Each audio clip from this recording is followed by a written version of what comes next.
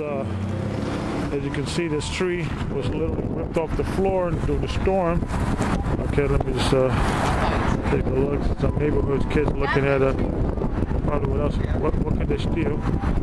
You can see here the tree uh, was was ripped up the floor, and then uh, I guess the uh, authorities caught, cut the tree. That looks like a clean cut there, but before it was cut, it actually landed on this floor.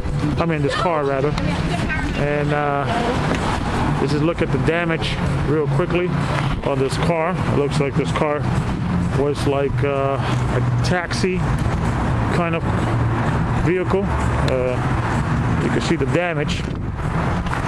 Uh, which is, uh, and like I said, this is uh, the Bronx is uh,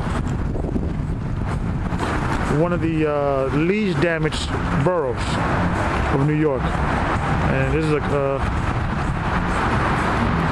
that's why when I parked, I decided not to park next to a tree due to the fact that this was the, the risk of parking next to a tree. No, it's not. okay, so there was a lady asking me if it was my car. Uh, fortunately for me, it's not, but unfortunately for the gentleman or lady who owns this car. Let's take a quick look on the car here. You see how this devastation literally crushed this car.